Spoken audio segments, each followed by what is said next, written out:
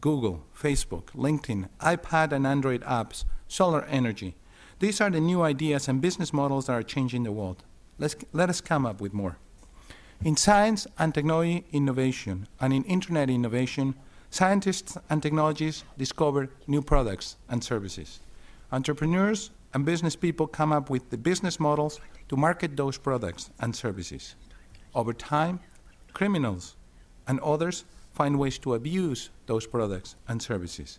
Eventually, lawyers, legislators, and regulators attempt to derive the most benefit from the new inventions while curtailing the abuses. Governance of the Internet is critical for all and by all. This is a defining moment for the United States and for the world, in the economy and in innovation, and for the environment. The Internet facilitates public service, nonprofit leadership, social innovation, entrepreneurship, business, and academic activities. The Internet helps to grow the economy in our region, our country, and the world.